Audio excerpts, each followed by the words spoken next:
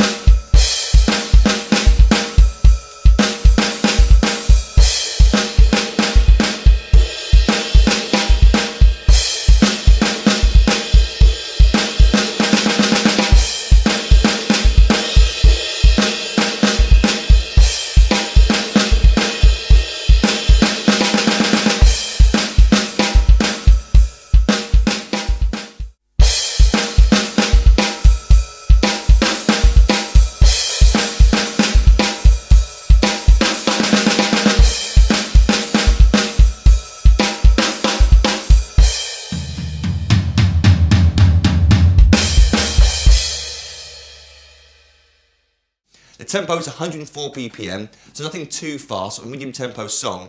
Um, but let's just say from the start, Ron Welty, not the greatest drummer in the world. Well, he certainly was, wasn't back then. He was still quite a young lad. I think he was 17 when he first joined The Offspring. Um, and he wasn't the greatest drummer in the world, so hearing his recording, um, just the drums on their own, you hear lots and lots of mistakes. But with the rest of the bands, the, the, the loudness, the guitars and stuff sort of cover up a lot of those mistakes. You don't really hear it. When I say mistakes, I just mean missed timings. Perhaps the bass drum's a little bit late or a little bit early. And to sort of my ears, it sort of it stands out really obviously. To a more beginner drummer, you probably don't even know what I'm talking about, as in you, you wouldn't notice whether it was played sloppily or not. You just hear it and go, well, what, what's the problem? It sounds like the drum beat.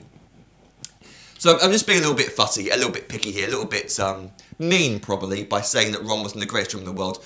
But um, uh, the groove he came up with for this song is really cool. It reminds me um, of the song uh, uh, Smells Like Teen Spirit by Nirvana, drummed by Dave Grohl. Um, this drum beat, which features in uh, Smells Like, Ron sort of took that drum beat and creating his own version for this song. I'm not sure which one came first, but I'm going to presume that Ron sort of was, was influenced by Dave Grohl rather than the other way around.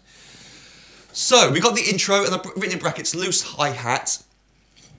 So that for most of the song, whenever Ron's playing on the hi-hat, it's, it's, sort of half open, half loose.